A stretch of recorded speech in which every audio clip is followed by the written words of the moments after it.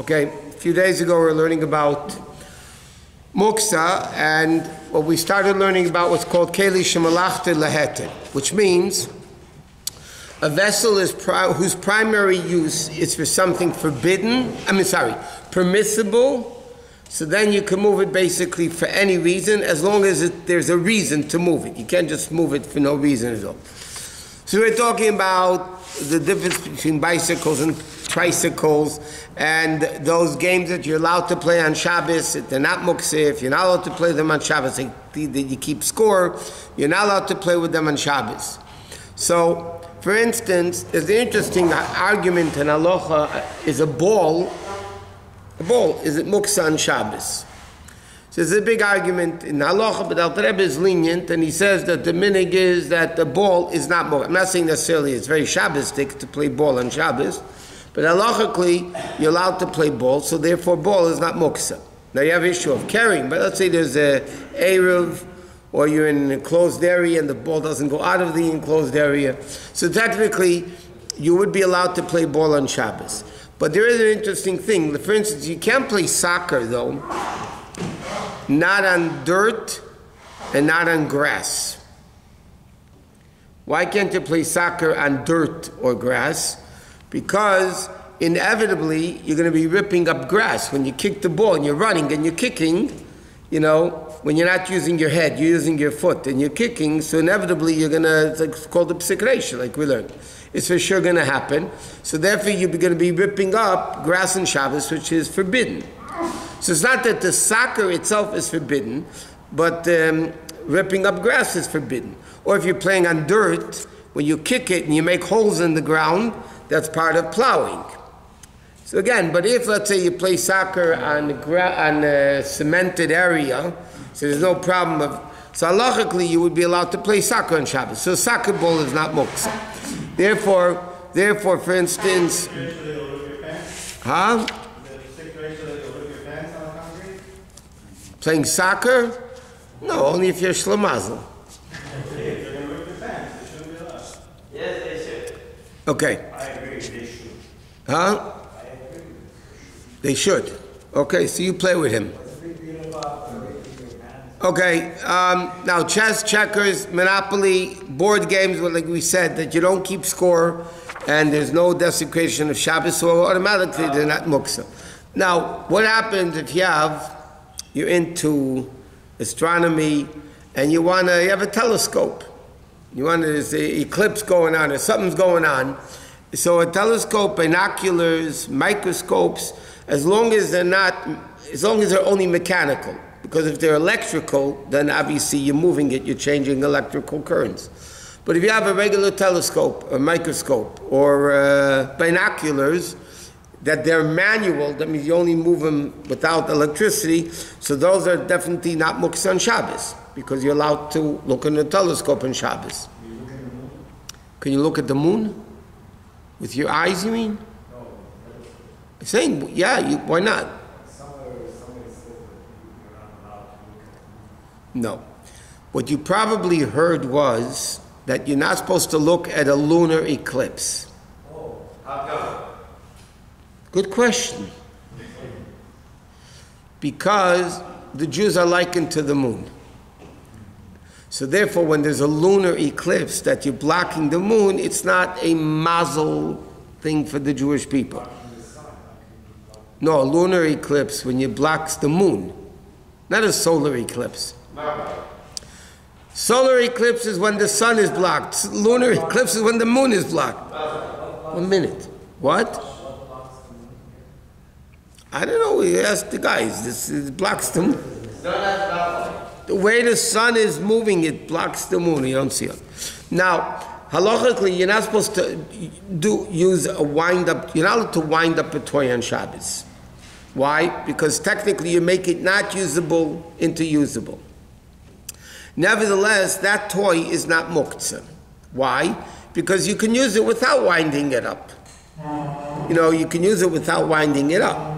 So therefore, it wouldn't be muktzah. That's usable without winding it. Huh? You know, that's, that's usable without winding it. What? And it's usable without winding it. What? That's why I said it's not. That's why he said it's not muktzah. The reason why you're not allowed to wind it is because it says it's not usable without winding it. No, because, no. What you're winding it to do, it can't do if you don't wind it. But the toy itself is usable If it's usable, then you wind it. If you wind a toy that makes it walk. Yeah? Without you winding it, it can't walk. Now you're making it walkable. That's fixing. But the toy itself, you can play with it without uh, it moving. You can play with it by itself, so it's not muktzah. Same thing with marbles. Marbles basically are not muktzah. Now, another interesting thing is brooms. Now it depends. Years ago, the brooms were made from straw. And the straw brooms broke, and then the din wasn't shchnarach. You're not allowed to use them on Shabbos because when it breaks, you're going to stick it back up. Stick into the back, the thing into the broom. And then you're going to be fixing it. So then it's not a problem. But if you have, let's say, a nylon broom, a synthetic broom, okay, you cannot sweep dirt with it because then again you're making holes in the ground and that's part of plowing. But if you have, let's say, this floor, tiled floor or whatever, uh, then you would be allowed to use a broom on Shabbos. That- That's nylon bristles and bristles that don't break. So then you would be allowed to use it on Shabbos. So therefore they're not muktzah. Making holes in the ground is related to plowing, yes. Plowing by definition means you make a hole in the ground. That's what. It doesn't matter. No, but the, therefore that din is. It doesn't mean making a hole in order to plant. The malacha plowing is a constructive making a hole. So therefore, anytime you make a hole that you want or you don't want, but it's for sure going to happen, then it's called making. Uh, it's plowing. That's what the malacha is. Doesn't matter. You can still you broom dirt or you kick dirt that makes a hole. Doesn't have to be a massive size. Chedesh kol shulei, If you plow a drop, it's it's called the malacha of, of plowing. So you're not allowed to walk on the sand? You're allowed to walk on the sand because the sand you're not making holes in. No, no, no. It's not like dirt, huh? No, sand, sand, no. Walking on sand is like walking on grass. But even when you walk on sand, okay, you can't build with sand on Shabbos. Like, you know, you go to a sandbox and you want to build a, a, a sand castle. Okay? So then, what, in order to build a sand castle, you have to take water, Otherwise, the sand is not gonna, it's gonna fall apart. So you have to mix the sand with water, and then it becomes solid, and then you can build a castle, right? But that is the malacha of losh, which is called kneading, K-N-E-A-D. You're mixing flour and water together. But just walking on sand, sand, you're not making holes into it. I'll give you another example. Somebody that, let's say, is allowed to go in a wheelchair on Shabbos, you're allowed to go on a wheelchair over dirt. Because you're not making holes, you're just indenting the earth. You're not making holes, you're just pushing it down. And that's the same thing that happens with sand. So you're allowed to walk at the sand on Shabbos. You can't mix sand with water because then you have the, the malacha of uh, kneading, like flour and water, which is kneading. Now, aerosol cans, you're allowed to use on Shabbos, so therefore they're not muktzah. Okay? So, for instance, any spray, like somebody wants to use air fresheners, room deodorants, uh, deodorant sprays, mouth, mouthwash sprays, perfume sprays, hair sprays, hair sprays could be a problem. It depends. It might be a Shiloh building they here, but other aerosol cans are allowed to be used on Shabbos, so therefore they're not muktzah. But, for instance, insect repelling, the insect repellent that doesn't kill bugs, it just repels them, they don't come and bite you, that you can put on on Shabbos, if it's a spray. But you can't kill you can't use um, insect killing, whatever you call those things, because then you're killing animals on Shabbos. That's forbidden. But repelling, that you're allowed to do. Matthew, what did you want? Um, so either are we allowed to play Fortnite in Star Shabbos? What? Fortnite. No video games on Shabbos, no. Well, I'm not religious. I'm not so Shabbat. I don't want to say it's on tape, but you're a liar. You are. Every Jewish Shomer Shabbat. Some know about it, some don't. Okay. Um, perfumes, because most opinions say you're allowed to put perfume on your body on Shabbos, so therefore, again, they're not muktzah.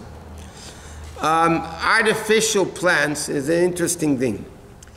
Plants that grow, plants that grow, not artificial plants, plants that grow in earth are muktzah on Shabbos. Cut flowers are not muktzah on Shabbos. Hair gel? Hair gel, any gel is forbidden to use on Shabbos. It's a malacha mamachik or mamareach, which is an offshoot of mamachik, which means you're smoothening surfaces. So you're not allowed to put a cream on. You can't smear a cream on Shabbos. You can dab it on if you don't cheat, and just dab it on. Then you can even close it with a gauze. But to smear cream of any sort, you could apply power powder on your hair. The question is taking it off, but but you could technically do it. In fact, I was teaching, I teach in the girls' high school here one period a week, and then we were learning halacha, and they asked me, there's a, because you can't, you're not allowed to take a shower on Shabbos, or Yom Tov, whatever, so they wanted to know, there's a hairspray that um, dries the hair, it takes out the oil. So you spray it on. So they asked me if you can use it on Shabbos. So I told them, bring it into class, I need to see it. I heard about it, I need to see it. So the next day, I mean, next week, I only teach once a week. So they brought it into class, and I said, okay, I looked at it and said, okay, now show me how it works. So one girl spritzed it on her hair, um, and there was an issue with it, but it's not a very big issue. I would say you could do it. Just doing nothing else. You can't brush it afterwards or comb it afterwards. But just spraying it on the head and leave it there, it's fine. But gel, you can't mousse your head. No, because it's a cream. You're using a cream on Shabbos, and then you're smearing a cream, which is forbidden. What? Oil? You want to rub oil into your oil if it's okay. Certain hand soaps are creamy. Okay, those should not be used on Shabbos. Okay, the only way that you could perhaps use it on Shabbos is if you let's say you squirt it, you know, take it out from the container on your on your hand, and before you rub your hand together, you take a lot of water in the next hand, and then you put it together. So then you're liquefying the the cream, and it's not creamy anymore; it's liquidy. But I'll give you an example. You know, the the laundry the the dish the detergent for dishes. Dish soap, yeah, it's very very liquidy. A lot of the hand soaps come out in the foam or they're much thicker. So that type of soap that you wash dishes with is for sure allowed to do on, use on Shabbos. I mean, can't say everybody, this is the way we hold that you're allowed to use it on Shabbos. Okay? So, but some of the creamy soaps, you would have to dilute it first before you can smear it on, on your body, on your hand or whatever. What? Vax? Maze. Gel, but gel is a gel. Gel you're not allowed to use in Shabbos. What?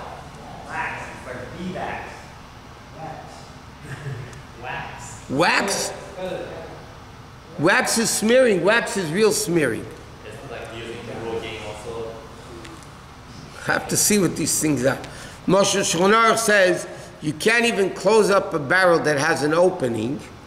You can close on Shabbos with a wood stopper or metal stopper, but you can't close it with wax. Why? Because when you stuff a hole with wax, inevitably you're smearing it. You're smoothing the wax, which is forbidden. So anything that's creamy that you're going to be smoothing out, that you're not allowed to use in Shabbos. In that case, if the gel, then the gel goes like liquid. You apply, If it's gel, that then it's not gel. that's right, yeah, it's got- So if it's liquid, like oil, let's say, yeah, you can put it, but you can't squeeze liquid out of your hair on Shabbos. right. So, you know, here, like baby oil, can you apply baby oil? Baby oil, yeah. Baby oil is very liquidy. What's your stand about the I don't have any stands. toothbrush, like, okay, what's the Chabad stand about toothbrush? Tooth, toothpaste? There's no Chabad stand.